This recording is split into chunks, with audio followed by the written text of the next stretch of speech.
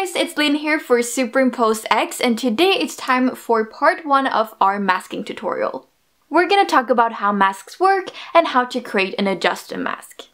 So what exactly is a mask? Well, a mask is basically a way to remove certain parts of an image. That way you can combine different parts of a different pictures to create a new image. So when we mask something out, that means that we're removing a part of the image. It might sound a little confusing right now, but once we get started, it will all make sense. So I'm gonna open up this photo of some palm trees. Then I'm gonna add a second layer on top of this one, and I'm gonna choose this flamingo picture. So what I want to do is remove this blue background around the flamingo so that I can place just the flamingo on top of these palm trees. That way it will look like the flamingo is standing in the middle of the jungle. Make sure that you have the layer that you want to mask selected and then tap the mask tab. In the bottom right corner, you can view all the different masking tools available and select which tool you would like to use.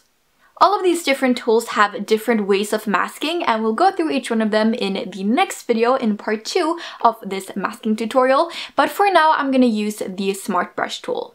To start creating the mask, just simply paint over the part of the image that you want to remove. If you make a mistake or you change your mind, you can always remove part of the mask by tapping this erase button. Now the masking mode switches from erasing to restoring, so now if you paint over the image, you will instead bring part of the image back. To start erasing again, just tap restore and it will switch back to erase mode. Right next to mask tool we have settings where you can adjust the settings and size of the brush and here at the top you can also choose between the different masking tools.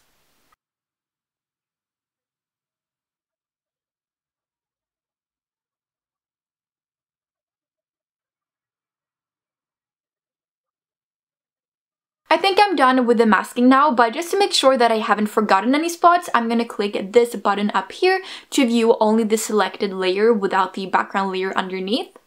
I can also click this eye to switch between different modes that show you the mask on different colored and blurred backgrounds. This makes it easier to view and adjust your mask since you can see the masked and unmasked areas much clearer. Then I'm going to tap the same button again to go back to viewing the blended image. Now that I've masked out the background, I'm gonna go into transform to scale and position the flamingo where I want it. Now let's go back into the mask tab and take a look at the different masking features. In the bottom left corner, we have a clear, which clears the mask so that you can start over. Invert lets you invert the mask so that the areas you removed are now visible and the areas that were visible are now the ones removed.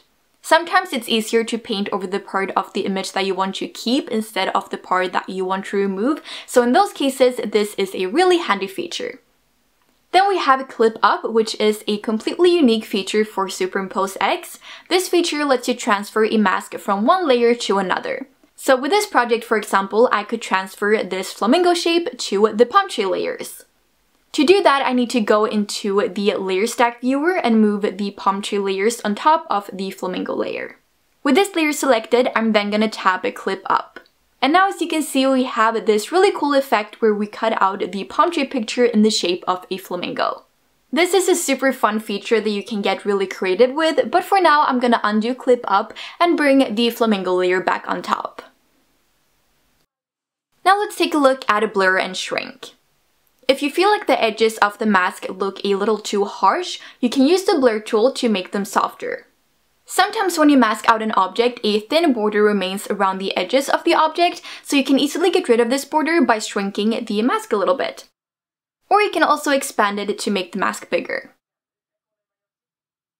That's all for this tutorial, I hope you found it helpful. Don't forget to watch part 2 of our masking tutorial where we'll go through all the different masking tools. And if you have any questions at all, you're always welcome to send us an email through the contact us option inside the app so that we can help you out from there.